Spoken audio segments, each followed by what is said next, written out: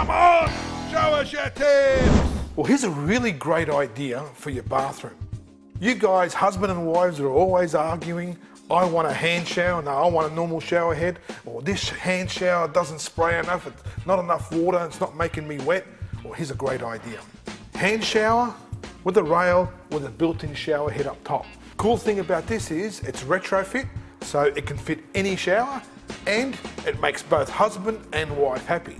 The wife can have the adjustable hand shower and I know like my missus, she doesn't like to wash her hair every day, so she can put it down low like this, wash her body. You can have that, and with a flick of a switch, like that, it goes straight up there to your shower head. The shower head is a nice, big, massive 200 by 200 mil shower head, which means you get a good spread of water, and it saves water too.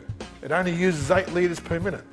So, next time you're down at the local plumbing supplies, grab one of these. They're a great idea. They're also available in a round style as well. So we've got square and round. So it doesn't matter what kind of tapware you've got, it's gonna match. They're also handy for washing down the shower as well.